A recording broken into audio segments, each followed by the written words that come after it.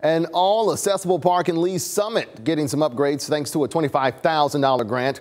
Lee's Summit's Parks and Recreation awarded that grant through the group ETAS, empowering individuals through advocacy and support. Park leaders say it's a chance to bring in more accessible equipment for people of all abilities.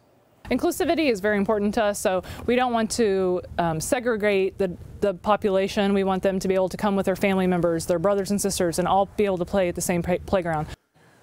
Park leaders hoping to start construction sometime this summer.